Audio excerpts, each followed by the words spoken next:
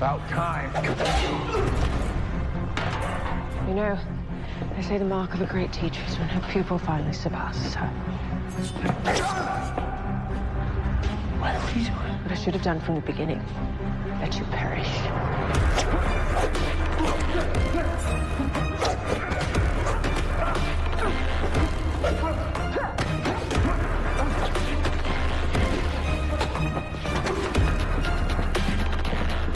You need a nap.